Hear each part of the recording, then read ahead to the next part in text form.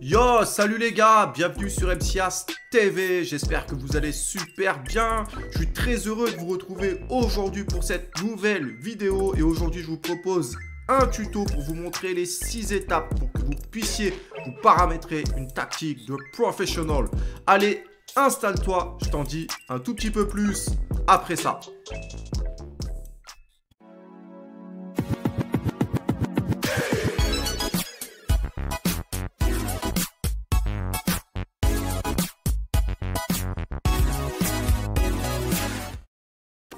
Première étape pour avoir une tactique de pro, ça va être de choisir votre coach. Donc pour ce faire, vous allez aller dans tactique, vous allez aller dans changer de manager et vous allez tout simplement choisir l'un des coachs que vous avez recruté.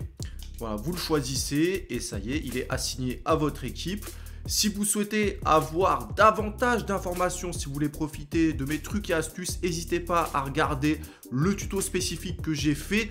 Donc comment bien choisir son coach, vous allez avoir plein d'astuces, vous allez avoir euh, mes, petites, euh, mes petites explications pour bien choisir votre coach. Deuxième étape pour bien configurer sa tactique, ça va être le choix de votre formation. Donc vous allez aller dans tactique, changer de formation et vous allez choisir la formation que vous souhaitez.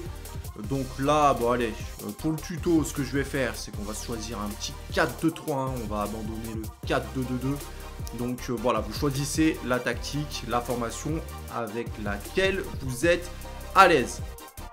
Troisième étape, du coup, pour configurer votre tactique de pro, ça va être de gérer le placement des joueurs sur le terrain. Donc ce qu'on va faire, c'est qu'on va se faire euh, un petit placement un peu, un peu funky, histoire de vous expliquer. Après, bien évidemment, vous, vous faites comme vous le sentez, les gars. Voilà, en fonction de votre vision du football. Vous me paramétrez ça comme vous le sentez. Voilà, moi je vais faire un petit truc un peu genre euh, comme ça, avec un 10 un peu décalé et un attaquant un peu décalé. Quatrième étape, du coup, pour avoir votre tactique de pro, ça va être le choix de votre style de jeu d'équipe. Donc vous allez aller dans tactique, vous allez aller dans style de jeu d'équipe.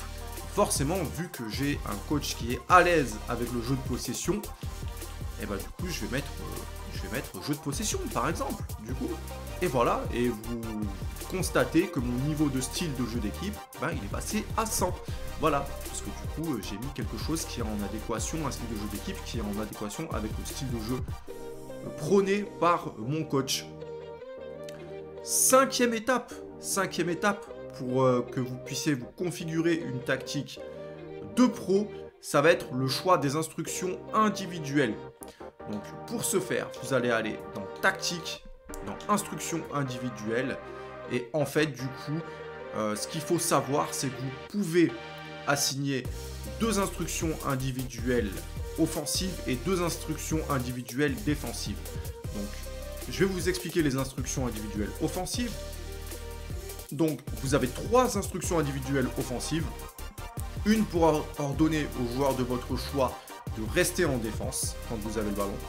Une deuxième pour demander aux joueurs que vous avez choisis de se projeter vers l'avant.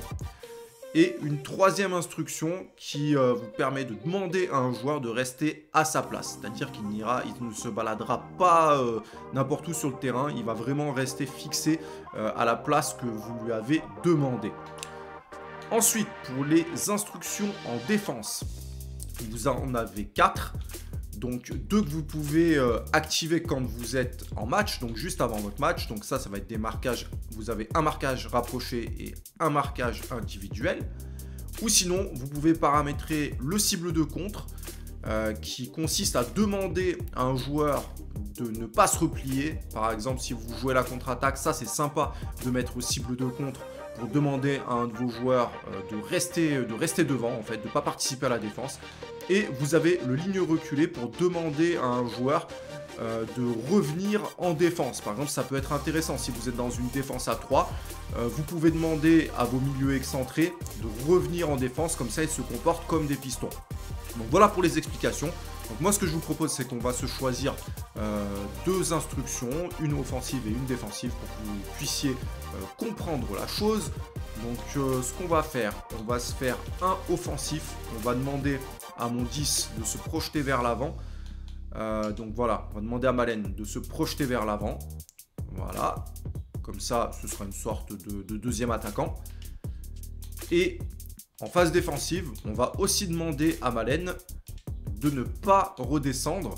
Comme ça, il va vraiment se comporter comme un attaquant, en fait. Hein. Euh, j'en ai fait un, attaquant hybride, en fait, Donc voilà, après, bien évidemment, vous configurez euh, selon, euh, selon votre vision du football et selon vos besoins euh, tactique. Je ne vais pas vous dire, voilà, il faut, que vous fassiez ça, ça, ça, ça. Voilà, vous avez des options et c'est à vous de choisir en fonction de ce que vous voulez mettre en place.